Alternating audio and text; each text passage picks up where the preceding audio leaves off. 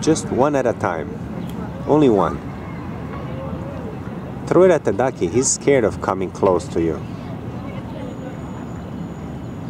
No, throw it all the way in the lake, yes. There you go.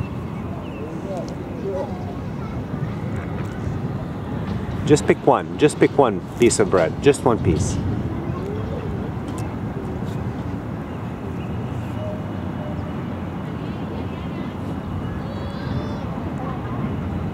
Nice throw.